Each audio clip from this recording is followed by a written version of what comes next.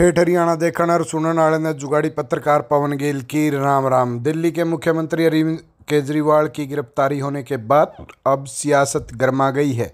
विधायक और Indian national Lokdal इनेलो के राष्ट्रीय प्रधान महासचिव अभय सिंह चौटाला ने शुक्रवार को पत्रकारों को वार्ता पर भाजपा सरकार पर निशाना साधा। उन्होंने कहा कि जो व्यक्ति या नेता भाजपा भाजपा की खिलाफ करता है, भाजपा सर सरकार के खिलाफ करता है, उसके खिलाफ भाजपा सरकार इस तरह की कार्रवाई करती है। इस दौरान चौटाला ने कहा कि जो नेता भाजपा के खिलाफ करता है, उसी नेता के खिलाफ ईडी या सीबीआई का दुरुपयोग कर उसकी गिरफ्तारी की जाती है।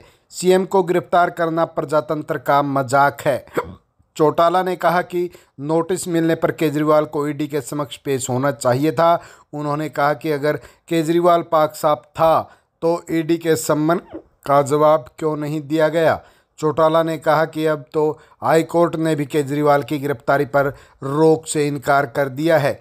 अभय चौटाला ने सभी विपक्षी पार्टियों को आगाह करते हुए कहा कि अगर लोकसभा से पहले सभी विपक्षी दल एकजुट नहीं हुए तो प्रधानमंत्री नरेंद्र मोदी की सरकार सभी विपक्षी दलों के नेताओं को जेल में डाल देगी।